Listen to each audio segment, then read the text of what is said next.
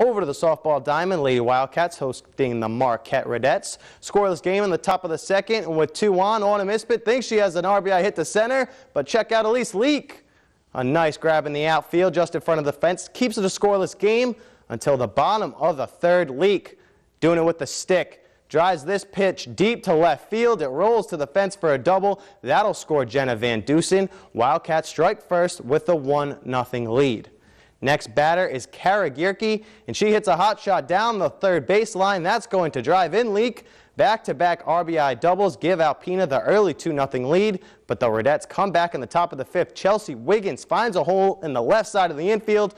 Courtney Finkbeiner rounds third base and slides into home safely. Marquette cuts the lead down to just one run, and then they continue to pile on the runs from there.